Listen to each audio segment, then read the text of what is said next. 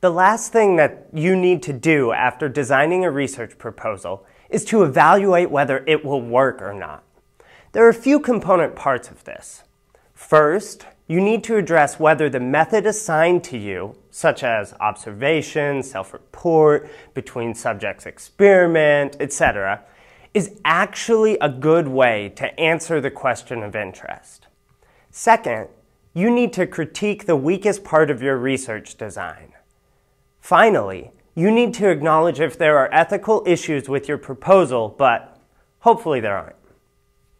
Sometimes, because of constraints that exist in the world, such as funding, you might not be able to answer a question with the exact data that you want. You might have to do a shorter study instead of a multi-year study. You will also have those constraints in this class, but mostly because we give them to you. We will ask you to design a specific type of study, such as a self-report correlational study.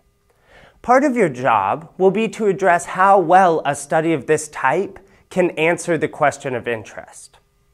For example, it should be obvious that answering if blood sugar levels are related to angriness will not be answered well by a self-report of how hungry someone is.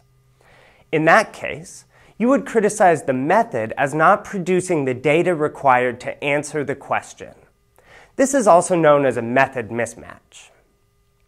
Sometimes the given study is the best way to address the question we're interested in, in which case you would explain why it is a good type of study.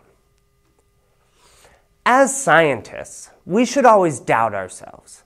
We should be making sure that the procedure we use could actually address the question. I've never designed a study that I thought would perfectly answer some question. There were always compromises that I needed to make. It was up to me, though, to identify those limitations and say why the procedure was still valid. And you have the same job here. The best thing to do for this section is to design a study as well as you can, describe the weakest part of your study, and then say why it doesn't make the whole study bad. Finally, though, hopefully this won't happen, you need to describe any ethical violations you commit. Remember, an, unethical, an unethical study could never be done, so that doesn't make it a very good study. You should strive to identify possible ethical violations in your research procedure and change your research procedure so that there are no violations.